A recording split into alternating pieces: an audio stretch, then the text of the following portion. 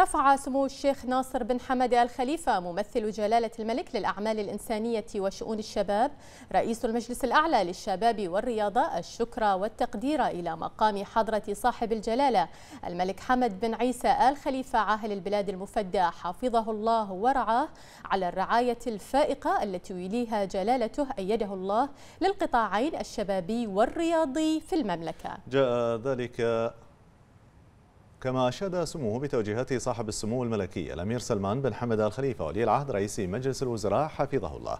جاء ذلك خلال ترأس سمو الشيخ ناصر بن حمد الخليفة لاجتماع المجلس الأعلى للشباب والرياضة بحضور سمو الشيخ خالد بن حمد الخليفة النائب الأول لرئيس المجلس الأعلى للشباب والرياضة رئيس الهيئة العامة للرياضة رئيس اللجنة الأولمبية البحرينية. ومعالي الشيخ دعيج بن سلمان الخليفة نائب رئيس المجلس الأعلى للشباب والرياضة وعدد من أصحاب السمو والمعالي والسعادة الأعضاء. وأشاد سمو الشيخ ناصر بن حمد بالإنجازات المتعددة التي تحققت للرياضة البحرينية خلال الفترة الماضية في مختلف الرياضات والتي تؤكد الدور البارز للهيئة العامة للشباب والرياضة برئاسة سمو الشيخ خالد بن حمد آل خليفة من خلال تقديم التسهيلات المتعددة للمشاركات الخارجية التي ساهمت في تحقيق هذه الإنجازات. متطلعا سموه أن تواصل الرياضة البحرينية تحقيق المزيد من النجاحات في الفترة القادمة إضافة إلى الزيارات الميدانية التي يقوم بها سموه للاتحادات والأندية.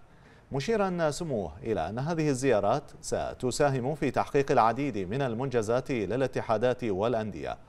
وبارك سموه تدشين غرفة لفض المنازعات الرياضية مؤكدا سموه بأنه يوم تاريخي في طريق الاحتراف الرياضي مشددا على البدء في العمل عمل الغرفة حيث سيكون دورها في تعزيز قيم الاحتراف الرياضي والمساهمة في تطوير منظومة الرياضة في المملكة. وذلك بحضور معالي الشيخ خالد بن علي الخليفة وزير العدل والشؤون الإسلامية والأوقاف.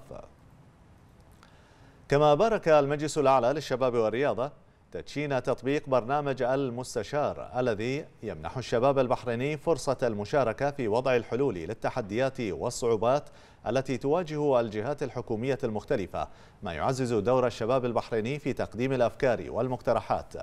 موجها سموه لمتابعة المشاركين النشطين المستخدمين للتطبيق لوضع الحلول الإبداعية. واطلع سمو الشيخ ناصر بن حمد الخليفة على تدشين اللجنة العليا لتمكين الشباب موجها سموه باعتماد اللجنة الوطنية لتمكين الشباب. كما استعرض سموه مع أعضاء المجلس آخر مستجدات برنامج لامع الذي يهدف إلى اكتشاف وصقل وإبراز مهارات الشباب والعمل على اختيار النخبة المتميزة.